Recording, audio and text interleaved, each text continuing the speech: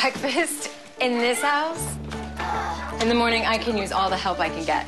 That's why I love Nutella, a delicious hazelnut spread that's perfect on multigrain toast and even whole wheat waffles. It's a quick and easy way to give my family a breakfast they'll want to eat. And Nutella is made with simple quality ingredients like hazelnuts, skim milk, and a hint of cocoa. They love the taste, and I feel good that they're ready to tackle the day. Nutella, breakfast never tasted this good.